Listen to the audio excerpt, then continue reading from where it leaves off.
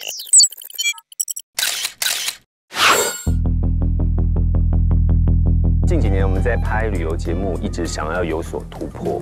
身为新角男神的廖科义，心心念念的都是想让节目更上一层楼。曾经两度敲响金钟的他，因为疫情节目难出国，但在台湾四处跑，一样很忙碌。要去哪里？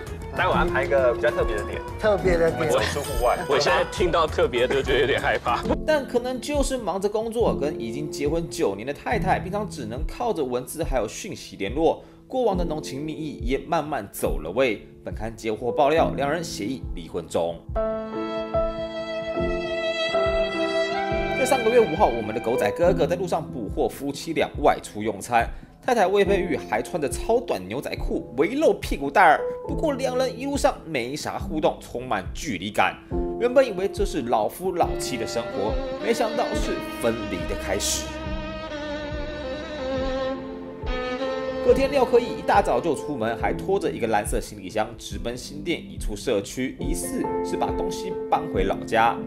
下午三点，又从自家大楼带着大包小包的行李来到另外一栋大楼。会怀疑廖科义跟老婆已经分居，不是没有原因。